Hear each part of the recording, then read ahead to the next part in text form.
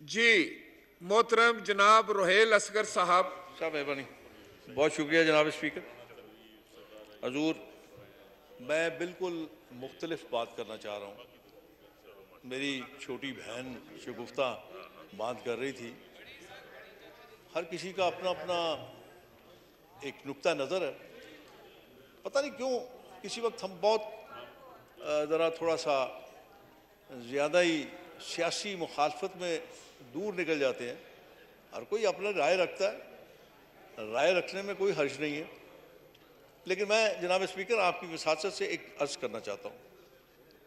यकीन कीजिए, मैं आज एक, बग़ैर किसी तमीद के, बगैर किसी खौफ ख़तर के, मैं एक बात का इतराफ़ करना चाहता हूँ कि आज मैं देख रहा हूँ, जो माहौल इस वक्त ईवान में है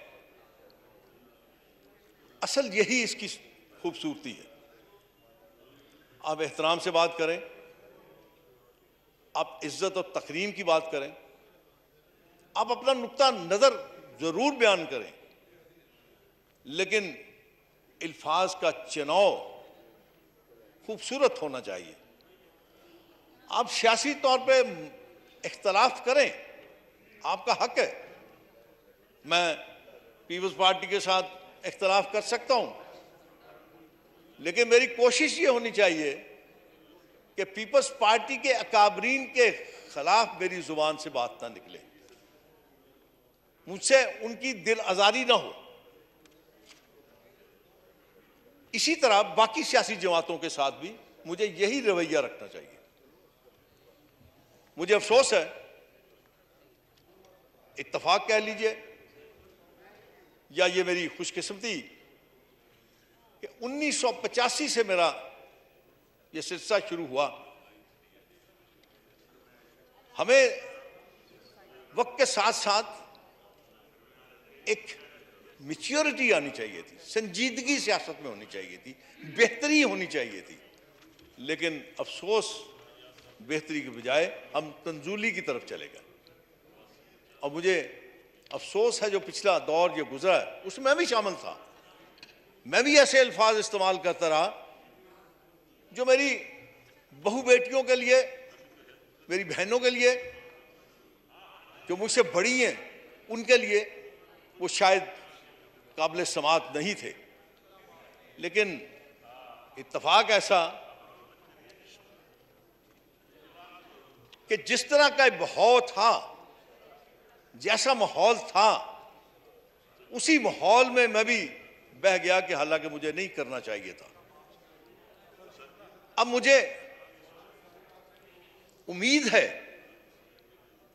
कि जितना अरसा बाकी हमारा है इस ईवान में, मेरी दिली दवा और खुशी इस बात से होगी कि हम अपने इस मनसब को बड़े एहतराम और इज़्ज़त के साथ तय करें।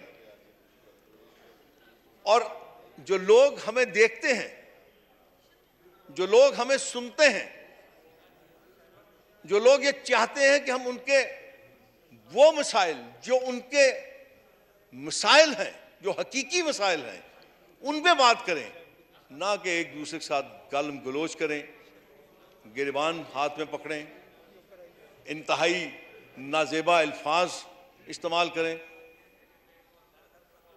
ख्वाहिश है, दुआ भी है, और ख़ुद भी अपने आप में ये मैं लागू करता हूँ कि आने वाले वक्त में हम इस ऐवान का जो एक खूबसूरती है, जो इसका तखस है, उसको बहाल करें। और उसमें स्पीकर साहब, मैं आपको गुजारिश करूँ आपका बहुत इंतहाई अहम हिस्सा होगा उसमें। आपने ये भूलना होगा कि आपका किस सियासी जमात के साथ ताल्लुक है। आप कस्टोडियन है इस ईवान के। आप अदा किए हुए अल्फाज को अमानत समझेंगे। किसी ऐसे लफ्ज की आप इजाज़त नहीं देंगे जो लफ्ज आपकी नई नस्ल के लिए तबाही का बायस बनेगा। आप छोड़ दीजिए लोगों को। आप अपने सियासी मुखालफिन को अपनी जहन से, अपनी सोच से बिल्कुल अलहदा कर दीजिए। अगर वो एक रास्ता अपनाए हैं तो उनको वो रास्ता मुबारक हो। आप उस रास्ते पे चले जो रास्ता जो हकीकत, जो मामला मेरे नबी अकरम सल्लल्लाहु अलैहि वसल्लम ने हमें सिखाया।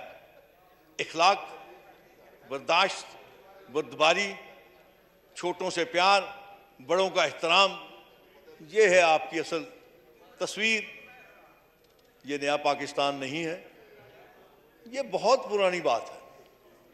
ये तो तब की बात है जब मेरे नबी के ऊपर मेरे रब ने कर्म किया और वही नाजल की और नबूवत से नवाजा और उससे पहले भी आगे पर उनकी आप ज़िंदगी देखें तो आपको उसमें भी इखलाक और प्यार और दयानत नज़र आएगी।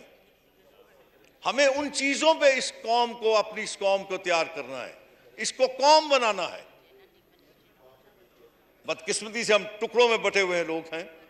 इन टुकड़ों को हमने इकट्ठा करना है।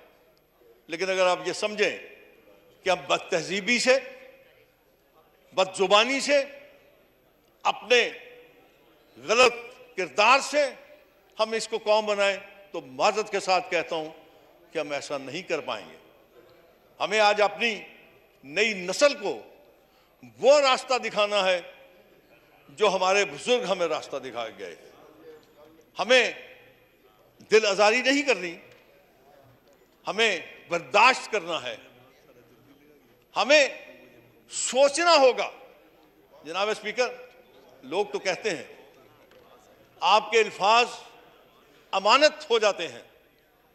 आप ये समझते हैं कि आप आज अल्फाज अदा करके आप कल को कुछ और बयान करना शुरू कर देंगे। ऐसा मुमकिन नहीं होता। आपके वो अल्फाज अमानतन पड़े रहते हैं। लोग माफ़ नहीं करते। आप चाहे जो मर्ज़ी कर लें, आप जैसा मर्ज़ी बर्ताव कर लें, एक दिन आता है कि आपको तमाशा बनना पड़ता है। मैं आपकी बर्दाश्त पे आपको मुबारक पेश करता हूँ कि आपने बड़ी थम्मल से बात सुन ली मेरी। आखिर में एक बात कर देता हूँ, ये मुफाकात अमल है। मैं तकरीरें करता था, मैं सड़कों पे लॉन्ग मार्च करता था। मैं शहरों में जलसे करता था। तो आपको याद है क्या खताबात से नवाजा जाता था हमें? आज एन वही हालत है आपकी। आज आप कभी कराची, कभी हंगू, कभी आप कहीं, कभी आप कहीं, ये मुफाकात अमल है। अगर आपने कुछ बेहतर किया होता, आपने कोई अखलाक अच्छा दिखाया होता, काश आपने तस्वीर खुदा की इबादत के लिए पकड़ी होती तो मैं आज कहता कि वाकई आप इबादत गुजार हैं। जिसको खात्म नबीहीन नहीं कहना आता, वो हमारा अगर रहनमा बन जाए तो बस अल्लाह का एक मेरे ख्याल में इससे बड़ा अजाब और कोई नहीं हो सकता था। खुदा मेरा और आपका हामी नासिर वमालहमदिल्लाबीआलमी शुक्रिया जनाब, शुक्रिया। मोहतरमा